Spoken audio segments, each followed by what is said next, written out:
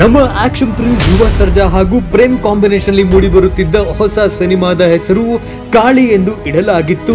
ಆದರೀಗ ಪೈಲ್ವಾನ್ ಸಿನಿಮಾದ ನಿರ್ದೇಶಕ ಕೃಷ್ಣರವರು ಅಂಬರೀಶ್ ಅವರ ಮಗ ಅಭಿಷೇಕ್ ರವರಿಗೆ ಮಾಡುತ್ತಿರುವ ಸಿನಿಮಾಗೆ ಕಾಳಿ ಎಂದು ಹೆಸರಿಟ್ಟಿದ್ದಾರೆ. ಹಾಗಾದ್ರೆ ಧ್ರುವ ಸರ್ಜಾ ಅವರ ಹೊಸ ಸಿನಿಮಾಗೆ ಟೈಟಲ್ ಚೇಂಜ್ ಆಗುತ್ತಾ? ಸಿನಿಮಾ ಯಾವ ಹಂತದಲ್ಲಿ ಇದೆ? ಯಾವಾಗ ಈ ಸಿನಿಮಾ ರಿಲೀಸ್ ಆಗುತ್ತೆ? ಯಾವ ಶೇಡ್ನಲ್ಲಿ ಧ್ರುವ ಸರ್ಜಾ ರವರು ಮಿಂಚಲಿದ್ದಾರೆ?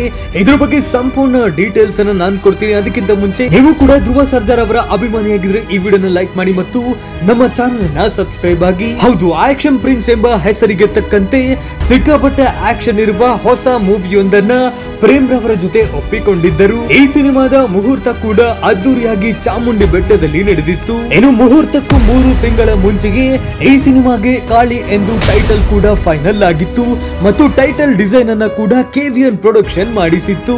ಆದ್ರೀಗ ಕೃಷ್ಣರವರು ಇದೇ ಟೈಟಲ್ ಅನ್ನ ಅನೌನ್ಸ್ ಮಾಡಿರುವ ಕಾರಣದಿಂದ ಆಕ್ಷನ್ ಪ್ರಿನ್ಸ್ ರವರ ಈ ಹೊಸ ಸಿನಿಮಾಗೆ ಟೈಟಲ್ ಅನ್ನ ಚೇಂಜ್ ಮಾಡಲಾಗಿದೆ. ಹಾಗೂ ಪ್ರೇಮ್ ರವರು ಕೂಡ ಯಾವುದೇ ವಾದ ವಿವಾದಕ್ಕೆ ಇಳಿಯದೆ ಟೈಟಲ್ ಅನ್ನ ಬಿಟ್ಟು ಕೊಟ್ಟಿದ್ದಾರೆ ಹೆಬ್ಬುಲಿ ಮತ್ತು ಪೈಲ್ವಾನ್ ಸಿನಿಮಾವನ್ನ ನಿರ್ದೇಶನ ಮಾಡಿದ ಕೃಷ್ಣ ರವರು ಅಂಬರೀಶ್ ಅವರ ಮಗ ಅಭಿಷೇಕ್ ರವರಿಗೆ ಕಾಳಿ ಎಂಬ ಟೈಟಲ್ ನಡಿಯಲ್ಲಿ ಸಿನಿಮಾ ನಿರ್ಮಾಣ ಮಾಡುತ್ತಿದ್ದಾರೆ. ಹಾಗೂ ನಿರ್ದೇಶಕ ಪ್ರೇಮ್ ರವರು ಕಾಳಿ ಎಂಬ ಟೈಟಲ್ ಅನ್ನ ಅನೌನ್ಸ್ ಮಾಡುವ ಮುಂಚೆಯೇ ನಿರ್ದೇಶಕ ಕೃಷ್ಣರವರು ಕಾಳಿ ಎಂಬ ಟೈಟಲ್ ಅನ್ನ ಅನೌನ್ಸ್ ಮಾಡಿರುವ ಕಾರಣ ಧ್ರುವ ಸರ್ಜಾರ್ ಅವರ ಈ ಹೊಸ ಸಿನಿಮಾಗೆ ಕಾಳಿಗಿಂತಲೂ ಅತ್ಯಂತ ಮಹತ್ವವಾದ ಹಾಗೂ ತುಂಬಾ ಸೌಂಡ್ ಇರುವ ಯೂನಿವರ್ಸಲ್ ಟೈಟಲ್ ಅನ್ನ ಇಡಲು ಈಗಾಗಲೇ ಚಿತ್ರತಂಡ ನಿರ್ಧರಿಸಿದ್ದು, ಒಳ್ಳೆ ಸೌಂಡ್ ಇರುವ ಸೌಂಡ್ ಆಗುವಂತಹ ಟೈಟಲ್ ಅನ್ನ ಇಡಲು ನಿರ್ಧಾರ ಮಾಡಿದ್ದಾರೆ. ಇನ್ನು ಸದ್ಯದಲ್ಲಿಯೇ ಟೈಟಲ್ ಅನ್ನ ಕೂಡ ಅನೌನ್ಸ್ ಮಾಡಲು ಈಗಾಗಲೇ ಕೆವಿಎನ್ ಪ್ರೊಡಕ್ಷನ್ ನಿರ್ಧರಿಸಿದ್ದು, ಧ್ರುವ ಸರ್ದಾರ್ ಅವರ ಅಭಿಮಾನಿಗಳಿಗೆ ಕ್ರಿಯೇಟಿವ್ ಆಗಿ ಈ ವರ್ಕ್ ಅನ್ನ ತಲುಪಿಸಲು ಎಲ್ಲಾ ಸಿದ್ಧತೆಗಳನ್ನ ಕೂಡ ಚಿತ್ರತಂಡ ಮಾಡಿಕೊಳ್ತಾ ಇದೆ. ಇದಿಷ್ಟೆಲ್ಲ, ಧ್ರುವ ಸರ್ದಾರ್ ಅವರ ಈ ಹಿಂದಿನ ಯಾವ ಸಿನಿಮಾದಲ್ಲೂ ಕೂಡ ಈ ಶೇಡ್ ಅನ್ನ ಮಾಡಿರಲು ಸಾಧ್ಯವೇ ಇಲ್ಲ.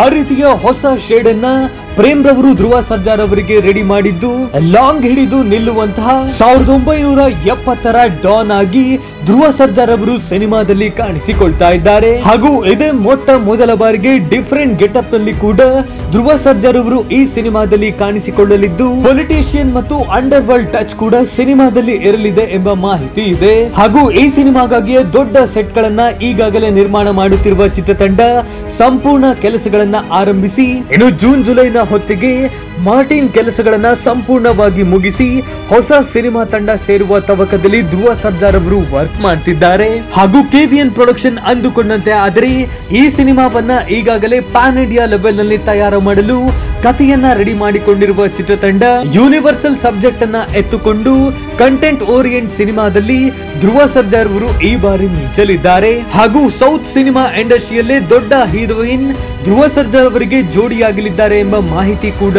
ಇದ್ದು ಆಗಸ್ಟ್ನಿಂದ ಶೂಟಿಂಗ್ ಶುರು ಮಾಡಿ ಡಿಸೆಂಬರ್ನ ಒಳಗಾಗಿ ಸಂಪೂರ್ಣ ಕೆಲಸಗಳನ್ನು ಮುಗಿಸಿ ಎರಡ್ ಸಾವಿರದ ಇಪ್ಪತ್ತ್ ಮೂರರ ಸಂಕ್ರಾಂತಿ ಹಬ್ಬಕ್ಕೆ ಈ ಹೊಸ ಸಿನಿಮಾವನ್ನ ಅಭಿಮಾನಿಗಳ ಮುಂದೆ ತರಲು ಚಿತ್ರತಂಡ ಅಷ್ಟೇ ಅಲ್ಲದೆ ಧ್ರುವ ಸರ್ಜಾರ್ ಅವರು ಕೂಡ ಪ್ಲಾನ್ ಮಾಡಿಕೊಂಡಿದ್ದಾರೆ. ಇನ್ನು ಮಾರ್ಟಿನ್ ಸಿನಿಮಾ ಕೂಡ ಎರಡ್ ಸಾವಿರದ ಇಪ್ಪತ್ತೆರಡರ ಡಿಸೆಂಬರ್ನ ಹೊತ್ತಿಗೆ ರಿಲೀಸ್ ಆಗುವ ಸಾಧ್ಯತೆ ಹೆಚ್ಚಿದ್ದು, ವಿಕ್ರಾಂತ್ ಋಣ ಸಿನಿಮಾದ ನಂತರ ಪ್ರಮೋಷನ್ ಕೆಲಸಗಳು ಸ್ಟಾರ್ಟ್ ಆಗುವ ಸಾಧ್ಯತೆ ಹೆಚ್ಚಿದೆ. ಒಟ್ಟಾರೆ ಪ್ರೇಮ್ ಮತ್ತು ಧ್ರುವ ಕಾಂಬಿನೇಷನ್ ಮೂಡಿ ಬರಬೇಕಾಗಿದ್ದ ಕಾಳಿ ಸಿನಿಮಾದ ಟೈಟಲ್ ಚೇಂಜ್ ಆಗುತ್ತಿದ್ದು, ಹೊಸ ಟೈಟಲ್ ನೊಂದಿಗೆ ಮತ್ತೆ ಸದ್ದು ಮಾಡಲು ಧ್ರುವ ಸರ್ಜಾರ್ ಅವರು ಆದಷ್ಟು ಬೇಗ ಬರಲಿದ್ದಾರೆ. ಇದರ ಬಗ್ಗೆ ನೀವೇನು ಹೇಳ್ತೀರಾ? ಹಾಗೂ ನೀವು ಯಾವ ಸಿನಿಮಾಗಾಗಿ ಕಾಯ್ತಿದ್ದೀರಾ ಎಂದು ನಮಗೆ ಕಮೆಂಟ್ಸ್ ಮೂಲಕ ತಿಳಿಸಿ. ನೀವು ಕೂಡ ಪಕ್ಕಾ ಧ್ರುವ ಸರ್ಜಾರ್ ಅವರ ಅಭಿಮಾನಿಯಾಗಿದ್ದರೆ ಇವನ್ ಲೈಕ್ ಮಾಡಿ ಮತ್ತು ಎಲ್ಲ ಕಡೆ ಶೇರ್ ಮಾಡಿ.